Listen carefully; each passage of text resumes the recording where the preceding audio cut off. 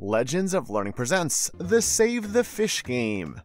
This is a science game that makes learning about states of matter and their structure fun and easy to understand. In this informative, instructional game, help the little fish escape from its boring life by using all states of matter in favor of its escape. Open the way for the fish. Navigate through the pipes with liquid. Freeze water so you can pass over it. Avoid getting close to any plasma. Use vapor and condense it back and transport water to other areas. And in the end, cool down the lava so it doesn't fry the fish. Play with interactive elements and understand the states of matter in a practical way. Use the mouse to click and remove or insert pins to direct water in a pipe.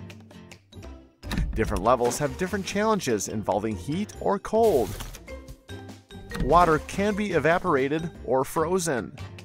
Use the mouse to select answers to quiz questions to learn more about the different states of matter and its structure.